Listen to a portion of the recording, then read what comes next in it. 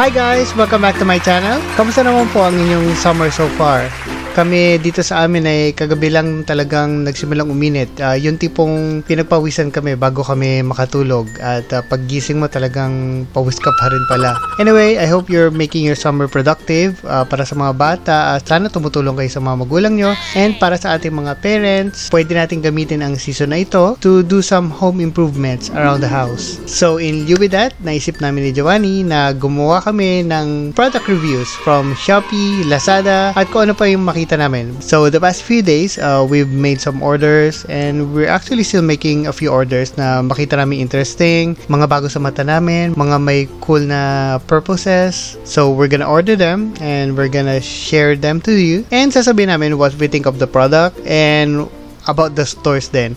Kasi hindi maiwasan, uh, marami na rin siguro kayo nababasa o napapakinggan na maraming uh, Shopee fails, Lazada fails, uh, kaya marami rin nagsasole or maraming maling products na natatanggap. So, good luck na lang sa aming dalawa. Okay, so para sa aming first review, um, meron kasi kaming uh, small folding table sa bathroom namin. Uh, meron kaming bathtub, And then, gumagamit kami ng small folding table do sa dulo niya para paglagay ng mga shampoo, uh, damit, underwear. Um, pero most of the time, patungan din siya ng mga laruan ng anak namin. So, dahil nababasa yung table and hindi siya plastic, hindi rin siya aluminum, parang yung mga fiber wood lang siya na nabibili mo sa SM. And nagsisimula na siya mag-deteriorate or nagsisimula na siya maagnas, malagas. Malamang may mga anay na rin sa kanya. Kaya nag-decide si Giovanni na kumuha na lang ng bagong uh, bathroom rack. Or ito yung nakita namin, this one.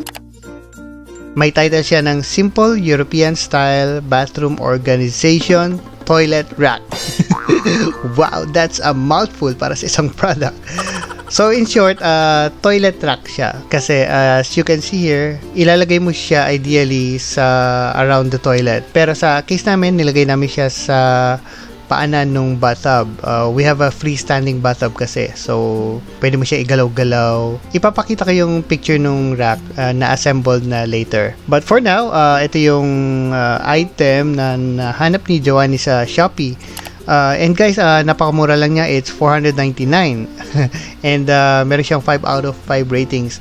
So, guys, uh, if you're gonna shop on Lazada and Shopee or kung meron pa ibang bago, just make sure or try to make sure na mataas yung rating niya, mataas yung rating ng store, merong mga review ng mga actual customers na bumibili doon sa store na yon. Or like this one, uh, meron tayong review. Uh, si Giovanni mismo nag-review here, very accommodating seller kasi dumating naman yung product namin ng uh, matino. Merong isang reviewer dito, uh, she said, excellent quality, very useful.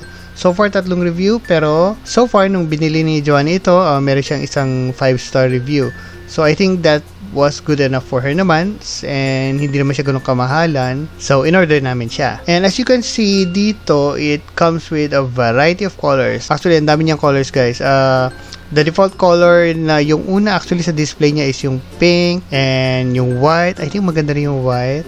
And uh, I think this is gray or dark gray white again. We have a few more samples here. And what's nice, ano, uh, meron siyang, uh, meron siyang tissue holder and meron siyang towel holders. Oh, uh, and may picture siya ng actual setups. I think uh, galing sa iba-ibang bahay or iba-ibang demo locations. Delivery time wise, uh, sabi ni Giovanni, um, accommodating naman yung seller pero umabot ng more than one week I think ito dahil in-order namin siya uh, before Holy Week. So, understandable naman na matatagalan yung delivery niya. So, nung dumating siya, uh, ito yung box niya. Actually, katabi ko siya. Uh, wala na dito yung item, pero as you can see, uh, medyo malaki-laki siya. So, hindi kaya ng motorsiklo ito.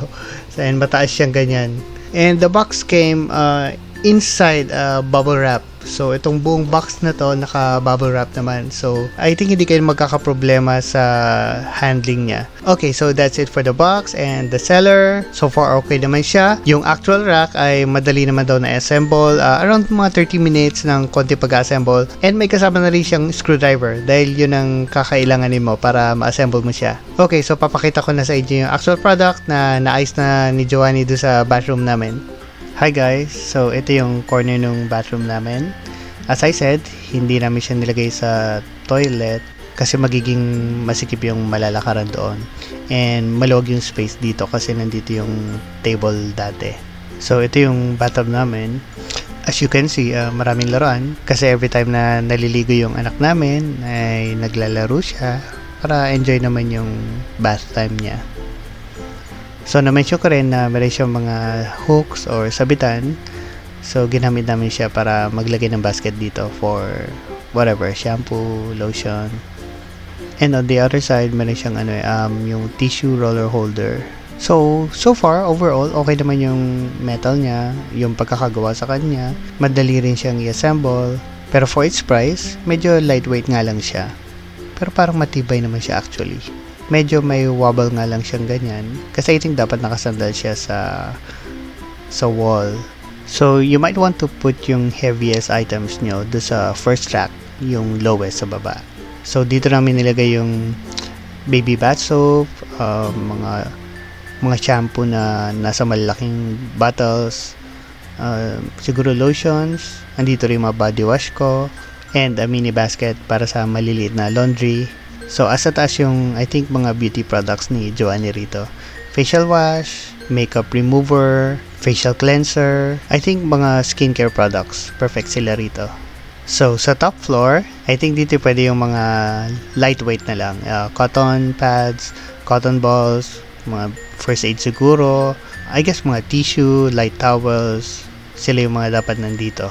So anyway, if nababahala kayo sa wobble, yung pag-uga niya, pwede nyo naman siyang i-clamp. Meron namang clamp sa hardware.